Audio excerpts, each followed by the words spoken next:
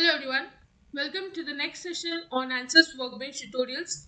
In this session, we are going to analyze a torus shaped object for steady state thermal analysis. We will start by double clicking on steady state thermal module. We'll go to geometry, right click, new design modeler geometry.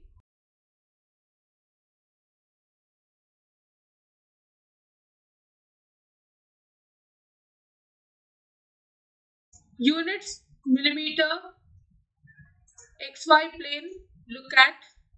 Next I'll go to sketching. I'll first draw a straight line. Then I'll go to circle and draw two circles.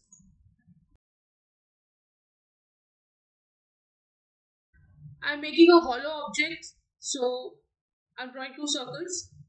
Next, I'll go to dimension.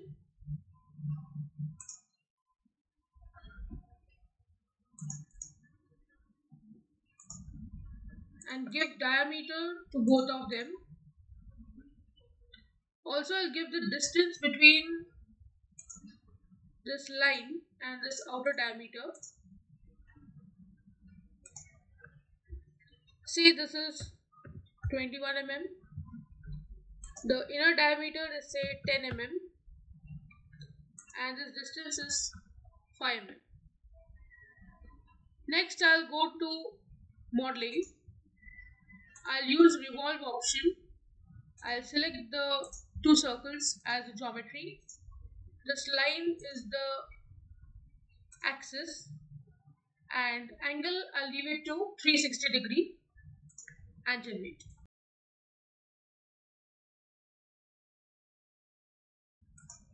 If you make this to 180 degree, this becomes half the torus orbit. So that's how you can change. If you want, you can also make this to say 270 degree. This is how it will look like. I'll leave it to 180 degree itself. So this geometry is done. Next, I'll go to model and double click on it.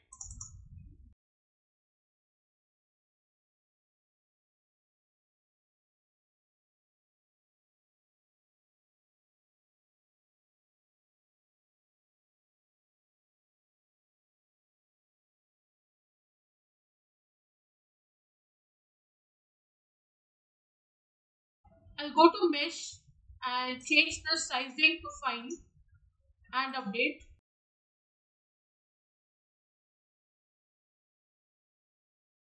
I'll now go to steady state thermal and insert temperature. Say the inner temperature is 200 degrees Celsius. On this surface, say I insert convection coefficient of 55 watt per mm square degree Celsius. And on these two faces say I insert radiation and this temperature I make it to 45 degree Celsius. So you can assume that this is a sort of torus pipe wherein you have a fluid flowing so the fluid internally has a temperature of 200 degrees Celsius and on these surfaces we are giving some convection and radiation factors. Next I'll go to solution and insert thermal temperature. I will insert total heat flux and also the directional heat flux of the body. Next we'll solve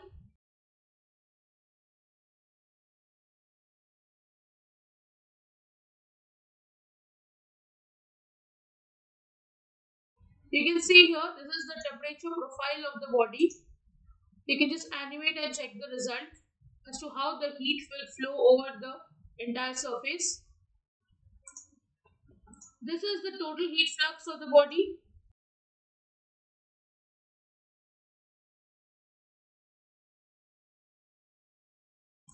And this is the directional heat flux. This is about the x-axis. If you want, you can see the directional heat flux about the y-axis as well, that is in the downward direction. So we can change this to phi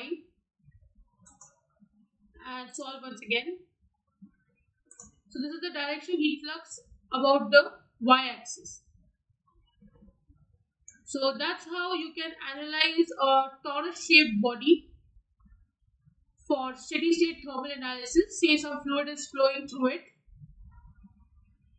I hope you have understood the analysis. If you have any doubts, please write to me in the comment section. Don't forget to like, share and subscribe to the channel. Hit the bell icon for latest video updates. See you in the next session. Thank you.